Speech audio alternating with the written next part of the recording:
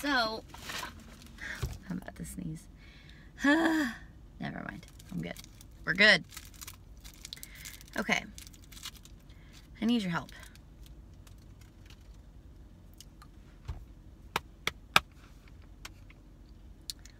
Mental training, training your mind,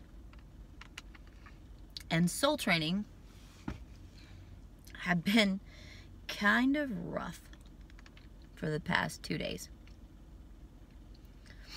I told you whenever I told you last that I'm really, really struggling um, with how many people are starting new things, making new changes. Um, a lot of moms out there who've lost children, like me. I still can't shake you.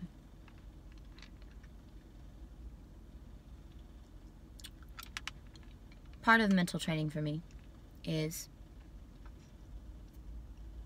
thinking the thought that I'm thinking and understanding why I think that. You should try it sometime if you haven't because almost all of the time it's easier just to think something else. Move it along. But there's no growth from that. I didn't sleep very good last night because I have this feeling that I'm wrestling with. Here's the feeling I feel unfinished. Raven, her life, what we went through, the organ donation, those things I feel are finished. I don't need assurance or closure about that.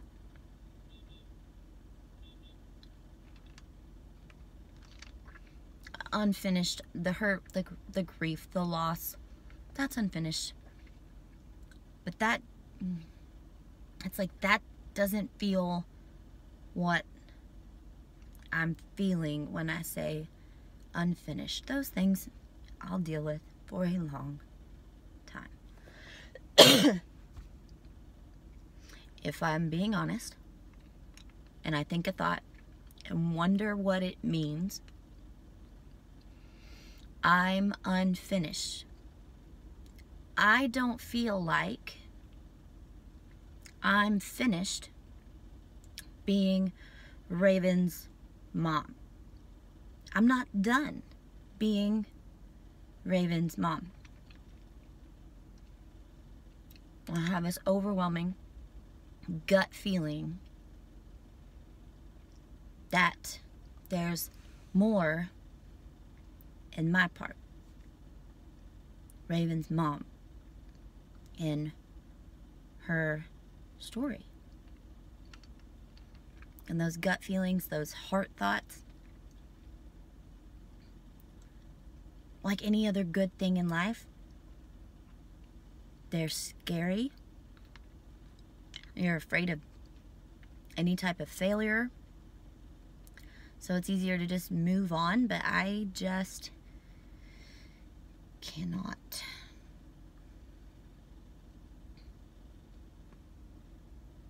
I just feel like there's more. I can help more. I could do more. More something. And I've um I've talked to a couple people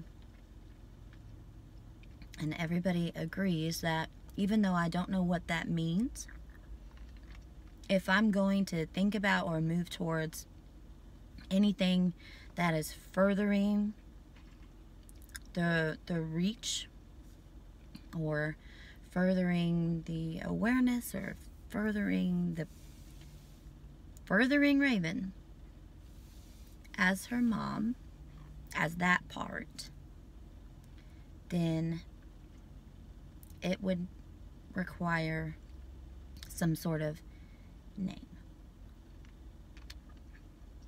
That's where I need your help. So I'm just throwing this out there. And you can help me or not if it if you're not comfortable with it. But if you have any ideas, I've given you about as much information as going on in my head right now. So I can't really base it off of anything. It's just that if Raven's mom wanted to continue something,